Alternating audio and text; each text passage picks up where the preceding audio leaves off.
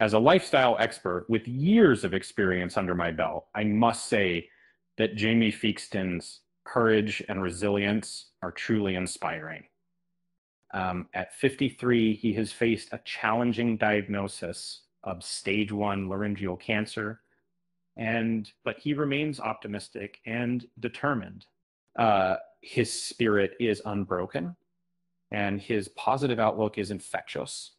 Um, Jamie Theakston has revealed that he has stage one laryngeal cancer on Tuesday, uh, the radio host, aged 53, decided to post a health update for his followers on Instagram, uh, following his earlier disclosure that he arranged a consultation with physicians uh, due to concerns raised by listeners about some irregularities in his uh, speaking voice. Uh, laryngeal cancer is a type of cancer that affects the larynx of Maximum Mackage's replication.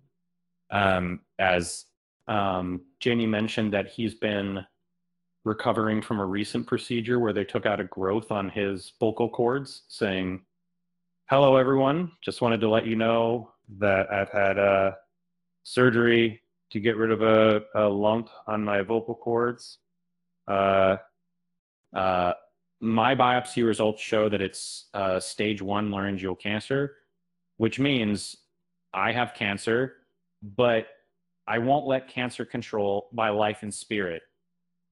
Um, the prognosis is very positive, and I'm hoping to be back with you in October.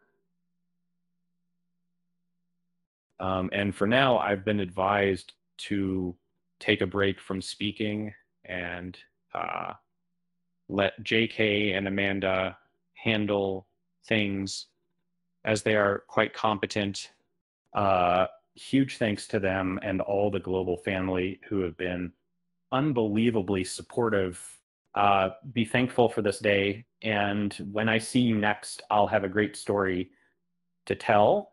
Um, shortly following Jamie's announcement, Amanda penned, Our fantastic at Jamie Theakston has received a diagnosis of early stage laryngeal cancer uh, his prognosis is very good, and he has uh, an incredible team around him.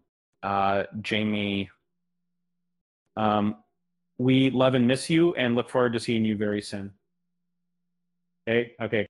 Um, as a as a lifestyle enthusiast, I'm here to share a heartfelt message that I've been with this Christian for uh, with Sophie Theakston Jewelry. Uh, let your inner beauty shine just like your lovely sons and the whole nation supporting you, uh, remember together we can get through this challenging time with love and resilience that every